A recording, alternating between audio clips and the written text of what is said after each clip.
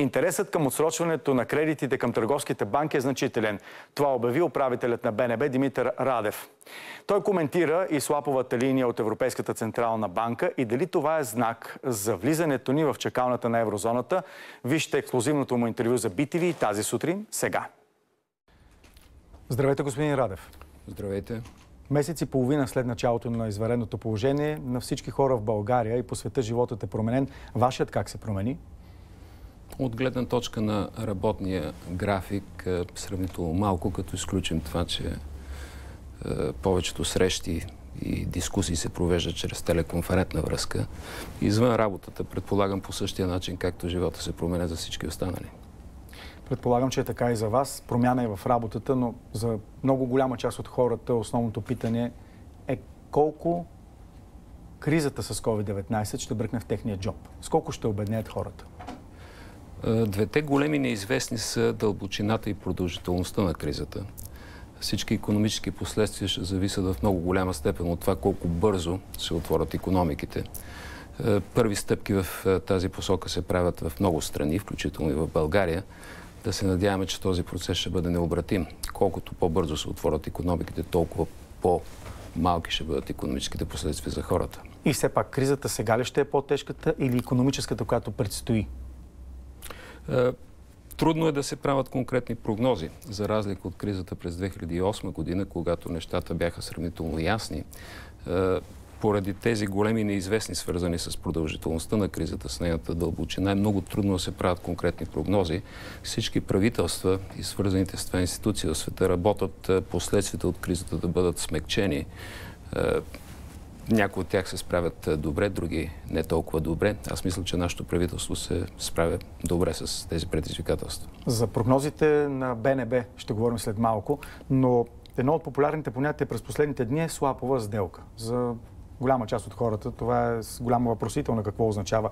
Може ли накратко да обясним какво означава и какво е значението на тази сделка, която сключихте с Европейската Централна банка? Е, това е валутно споразумение. Е, технически означава, че ние може при необходимост да получаваме евро срещу левове по фиксирания курс, без да намаляваме валутния резерв. Значението излиза извън рамките на това техническо описание. То е израз на доверие към България, към Българската народна банка. Е, важно, особено в този момент, тъй като той ясно идентифицира България като страна с добра финансова репутация, страна на която пазарите и инвеститорите могат да имат доверие. А репутацията и доверието в света на парите винаги има финансово измерение. А необходима ли е еврова ликвидност на българските банки? В момента не. А, е, ние а, е, публикуваме тези данни всяка седмица. Брутният валутен международен резерв на, на Българска народна банка на исторически високо равнище. Нивото на резервите на банките в баланса на управление инвестиционно също така на високо равнище. Резерва на БНБ 54 милиарда, резерва на банките е над 16 милиарда, като повече от половината от тази сума са свръхрезерви. Така че е, ние, сме, ние сме добре е, обезпечени от тази гледна е, точка. Но пак казвам, причината за тази слапова линия не е точно необходимостта от евро в този момент, тъй като ние нямаме такава необходимост. Споразумението беше обявено като предпазно.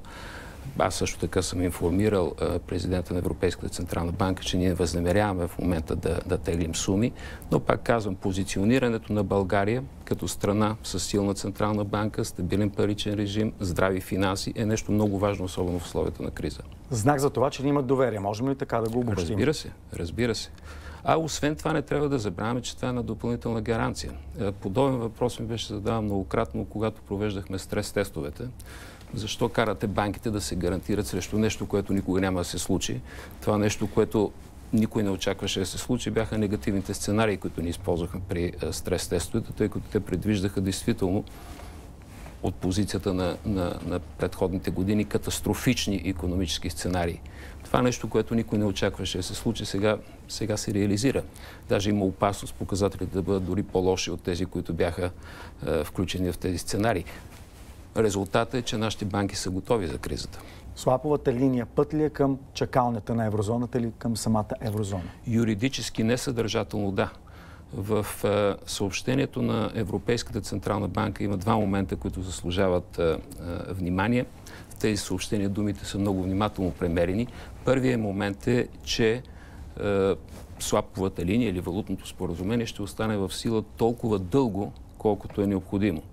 Това на практика означава, че не става въпрос за временен или еднократен ангажимент, а става въпрос за близко и стратегическо сътрудничество между Европейската Централна банка и Българската Народна банка, нещо към което много централни банки се стремят, сравнително малко го постигат. И втория важен момент е това, с което завършва през съобщението, е, че България се подготвя да участва в валутния механизъм, което е предпоставка за е, присъединяване към еврозоната. Това е контекста, в който тази слапова линия се установява. Питаме, за да е по-ясно и на хората, защото управляващите го разтълкуваха като знак за влизането ни или поне за отваряне на вратата към еврозоната или така наречената чекалня, но от опозицията казват не е вярно, че слаповите линии имат нещо общо с влизането в чекалната на еврозоната. Но това ще се разсмее всяко дете, казва Румен Гечев. Юридически не. Всеки, който има колебания по темата, може да прочете е, през съобщението на Европейската Централна банка. Думите там не са случайно изпуснати, а тези думи са буквално следните. България се подготвя да участва в валутния механизъм като предпоставка за присъединяване към еврозоната. Готови ли сме да влезем? Ще влезем и юли, месец в чекалнята? Готови сме, готови сме да е, влезем категорично. Е, много важно развитие през е, последния месец беше поетия ясен и силен политически ангажимент от страна на министър-председателя, от страна на правителството. В резултат на този ангажимент процеса, който беше забавен, за няколко месеца. Всъщност сега е напълно възстановен. Аз очаквам развитие в рамките на следващите три месеца. И все пак забавянето заради кризата с COVID-19 може ли да е спънка за влизането ни в този механизъм? Наред с всичко друго, преди всичко друго говорим за, за политически, политически процес, за политически е, акт. Знаете, че в политическата сфера винаги може да има развитие, които е трудно да се предвидят. Е, освен това имаме и кризата с е, COVID-19 поради което институциите и нашите европейските са ангажирани с тази тема. Не трябва да се, не трябва да се забрави и факта, че става въпрос за един много сложен бюрократичен и административен процес, който ангажира не само българското правителство и Българската народна банка, но също така ангажира Европейската централна банка, Европейската комисия, 19-те страни членки на еврозоната плюс Дания. Но аз ще повторя това, което казах. Очаквам развитие в рамките на следващите три месеца. Възможно ли е в промеждутъка между влизането ни в механизма до влизането ни в еврозоната българският лев да се обесцени? Изключено е това.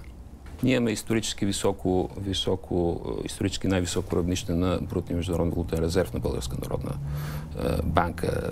Избягвам да, да използвам този непрофесионален език, но на практика срещу всеки един лев ни разполагаме с 1,5 евро и ние не смятаме е, това равнище на покритие да бъде намалено. Казахте, че банките са обезпечени в евро, но в началото на кризата с COVID-19 отново имаше някакъв устрем на хората да обменят валутата. Тогава също им беше препоръчвано да не го правят. Може би не само в евро, но и в други валути. Успокои ли се това настроение? Няма никаква драма. Дори по време на, на, на тези по-високи е, тегления нещата бяха изцяло под контрол. Говорим за суми, които, които от гледна точка на това, с което разполагаме, са символични. А в момента пазар е напълно спокоен. Споменахте 2008 преди малко, но тогава гръмнаха банките. Има ли някакъв риск в световен, пък и в национален мащаб това да се случи? Сега? Генезиса на, на двете кризи е, е различен.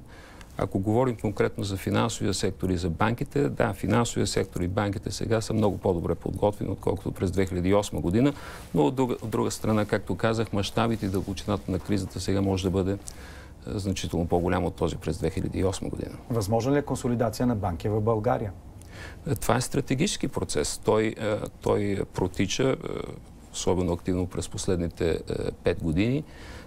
Сега, точно в този момент, това не е основен приоритет при състоянието на пазара и поради проблемите, с които трябва да се справяме, но разбира се, в бъдеще това е стратегически процес, който ще продължи. Една от най-често обсъжданите банки през последните дни беше Българската банка за развитие. Смятате ли, че беше удачно да се отпуска кредит от 70 милиона лева по време на криза на колекторска фирма? Това е въпрос, по който акционера в лицето на правителството, по-конкретно Министерството на економиката, взе много ясно и категорично решение. Акционера предприе също така мерки, които включват промени в ръководството на банката.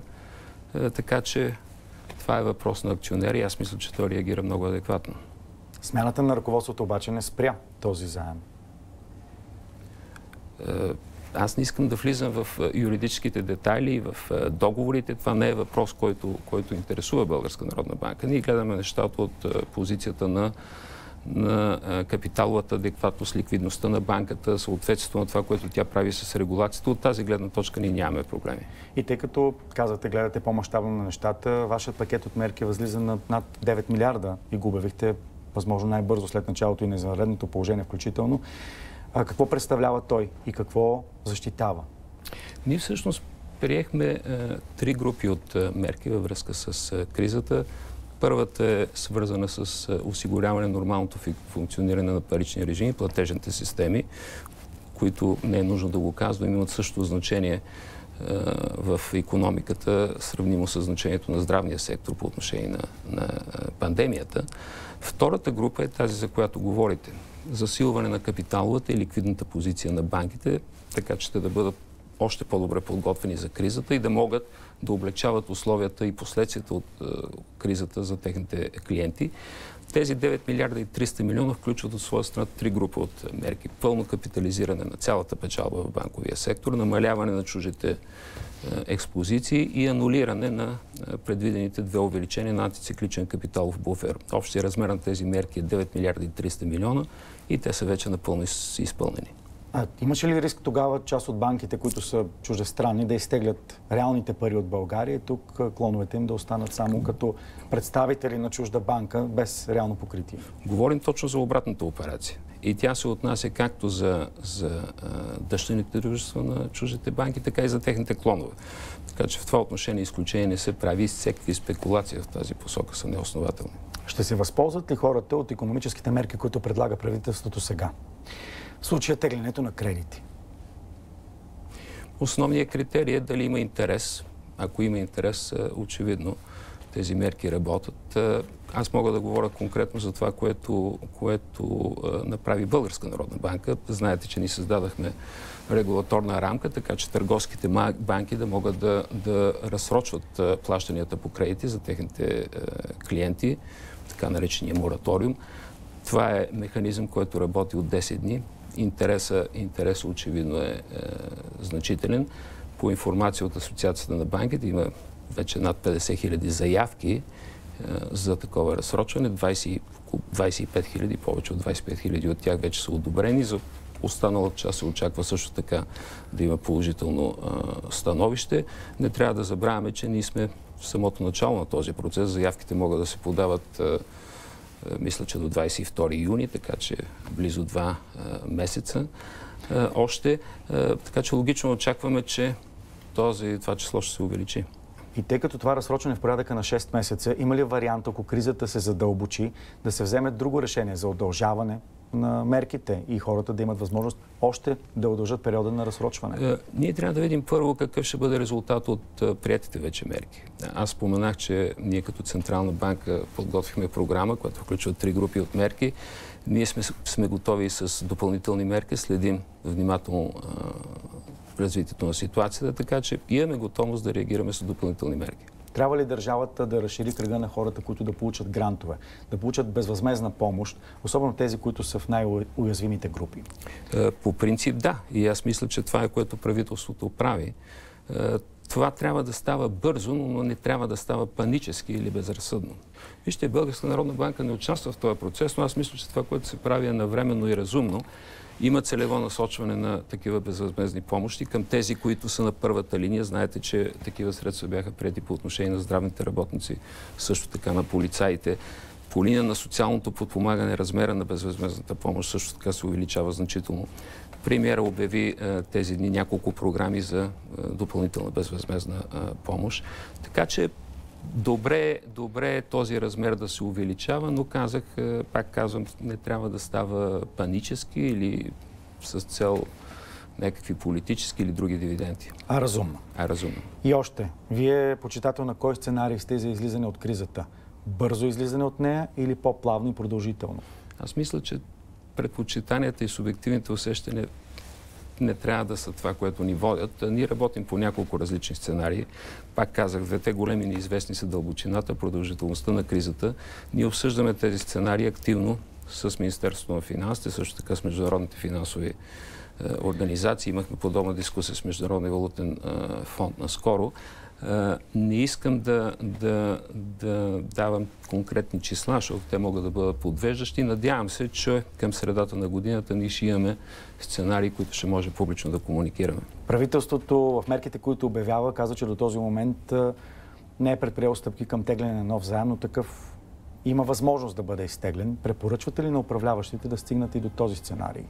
В актуализирания бюджет този въпрос е, е, е решен. Там има посочена конкретна сума, лимита беше увеличен. Навлизаме във време на дефицити. Тези дефицити трябва да се финансират, включително на международните пазари, така че в това няма нищо извънредно или което да притеснява. А разумно ли е? По-рано ли трябва да бъде изтеглен такъв заем на по-добри условия или по-късно, когато може би ще е по-невъзможно на по-лоши условия? Аз ви връщам към това, с което започнахме. Тази слапова операция. Всички тези действия, които се предприемат, са координирани. Слаповата операция, наред с други действия, които се предприемат, има за цел да създадат по-добри условия за финансиране.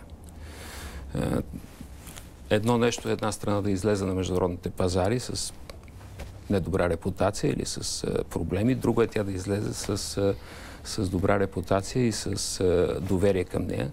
Така че това е част, част от, от целият този пакет от мерки, които се прилагат. Аз очаквам, че да, правителството ще излезе на, на международните пазари. Знаете, че се провеждат редовни емисии в, вътре в страната. Е, ние все още имаме лукса да отказваме. Знаете, че при последната емисия, която се администрира от Българска народна банка, Министерството на финансите отказа поради цената да е, реализира емисията.